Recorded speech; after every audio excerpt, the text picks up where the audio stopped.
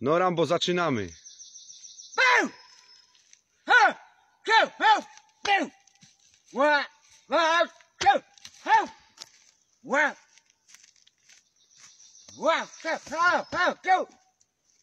Tylko spoko spokojnie, żeby leśniczy nie przyleciał i nas za drzewa nie opierdolił.